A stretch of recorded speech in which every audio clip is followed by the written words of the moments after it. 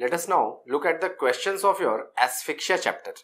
What all MCQs come like in your exams. First question. The question is the knot in judicial hanging is placed at uh, simple question presence of knot over midline occipital region the hanging is called as typical hanging not anywhere else other than midline occipital the hanging is, hanging is classified as atypical hanging this is classification of hanging based on types of knot. And third type of hanging based on knot is your judicial hanging. Judicial hanging. In judicial hanging the knot is placed at correct answer is left angle of mandible. Okay. Next question. Question says during postmortem you find emphysematous bullae on lungs. Key point in the question is this finding. Finding is over which organ? Lungs. What is the finding? Air-filled cavities, air-filled areas called as emphysematous bullae. Emphysematous means air-filled. Bullae are present over lung. Which statement is true for this finding? Okay. Always remember this is an important finding of strangulation deaths. And this is not seen in all cases of strangulation.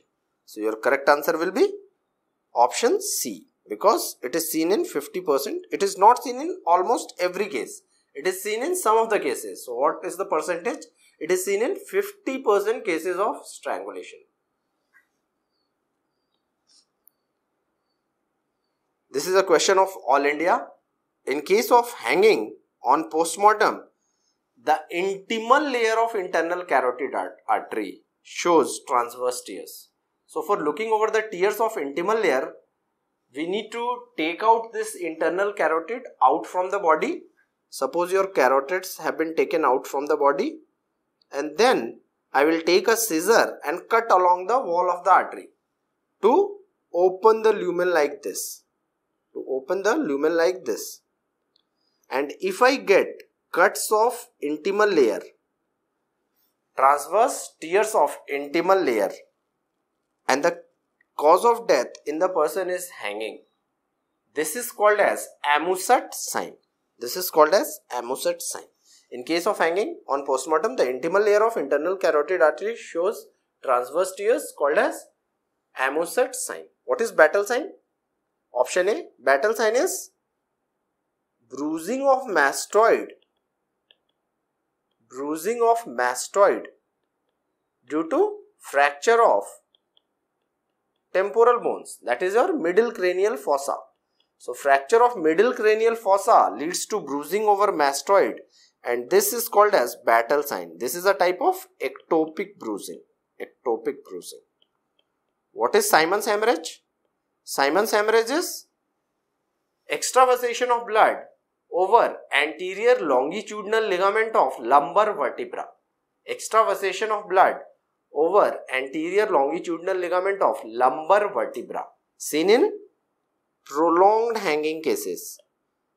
Like the person has been hanged for like 24 to 36 hours.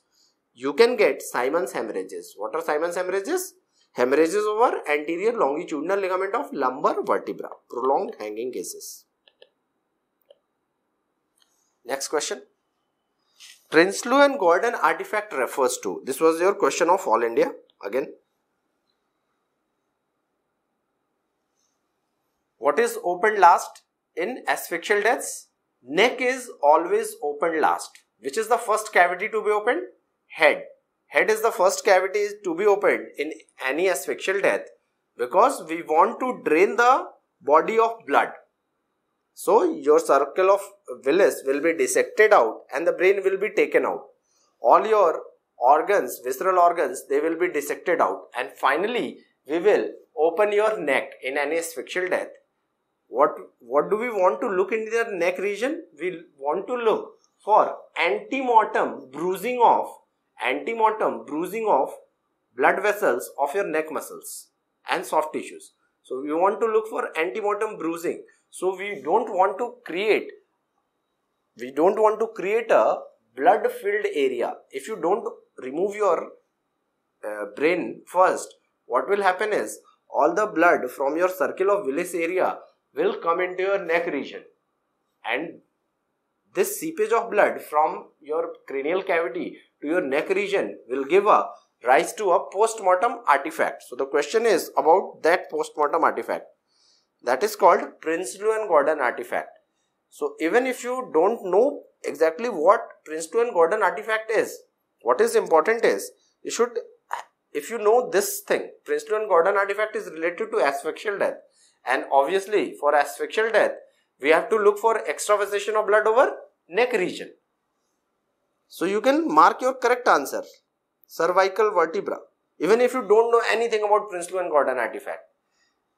You can solve your question because Prinsloo and Gordon artifact is related to asphyxial deaths. Okay. To prevent this artifact, we open neck last, head first.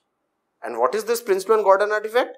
If you don't remove your head, uh, if you don't remove your brain before opening neck, what you can create is this artifact which is extravasation of blood over anterior longitudinal ligament of cervical vertebra. So even in the absence of knowledge, you can solve questions. You just have to remember this part, this thing.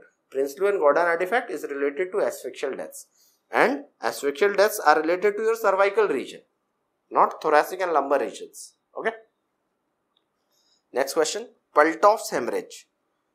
Paltauf's hemorrhages are small sized hemorrhages seen in drowning deaths. So Paltauf's hemorrhages are small sized hemorrhages seen in drowning deaths. And in drowning, which is the most common organ affected? Your lungs. So obviously these hemorrhages will be seen over lungs. Simple question. Done.